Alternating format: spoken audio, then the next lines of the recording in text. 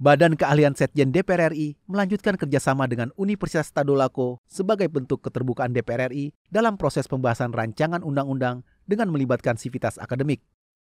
Dalam kunjungan ke Universitas Tadulako di Palu, Sulawesi Tengah, Kepala Badan Keahlian Setjen DPR RI, Innocentius Samsul mengatakan, kerjasama ini merupakan salah satu bentuk komitmen dalam memperkuat lembaga DPR RI. Innocentius menilai, masukan dan data yang diperoleh dari universitas sangat diperlukan baik dalam menyusun naskah akademik maupun untuk mengkaji RAPBN.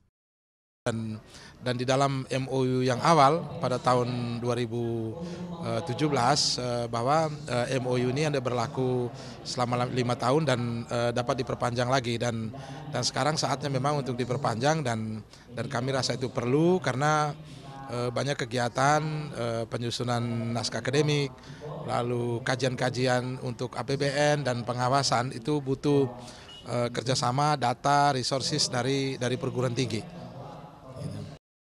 Rektor Universitas Tadulako, Mahfud, menyambut baik terjalinnya nota kesepahaman antara Badan Keahlian Setjen DPR RI dengan Universitas Tadulako yang memberi ruang bagi ahli hukum dari Universitas Tadulako untuk berkontribusi dalam proses pembahasan rancangan undang-undang, salah satunya RUU tentang pembentukan Provinsi Sulawesi Timur ada di legislatif. Saya kira itu yang sangat penting ke depan Universitas Tadulako akan memberikan kontribusi yang positif terhadap penyusunan rancangan undang-undang yang akan dihasilkan oleh badan legislatif melalui badan keahlian DPR RI. Dari Sulawesi Tengah, Helmi Darmawan, TVR Parlemen melaporkan.